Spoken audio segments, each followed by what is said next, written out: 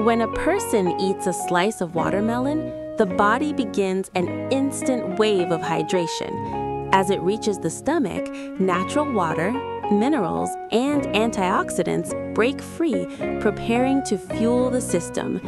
In the intestines, these nutrients are absorbed through microscopic villi, sending hydration directly into the bloodstream.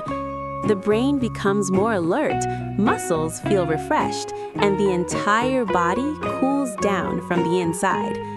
The gut receives gentle fiber that supports digestion and balances the microbiome. But in some people, watermelon may cause slight bloating or a temporary rise in sugar levels.